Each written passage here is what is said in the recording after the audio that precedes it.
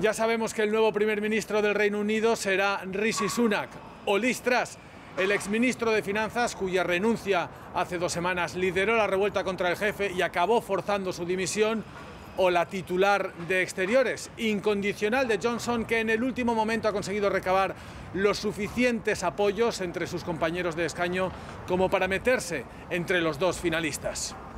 Dos perfiles muy diferentes. Por una parte, Sunak, responsable de los ERTE en tiempos de pandemia, que han salvado muchos puestos de trabajo en el Reino Unido, pero también quien ha firmado los impuestos más altos de los últimos 70 años en este país, cuya principal preocupación ahora mismo es la inflación, que ya está en el 9,4%. Multado también por haber participado en una fiesta en tiempos de confinamiento, está casado con la mujer más rica del Reino Unido que no paga sus impuestos aquí porque se beneficia de las exenciones del estatus de no domiciliada en este país. Y por la otra, Lestras, titular de Exteriores desde hace poco menos de un año,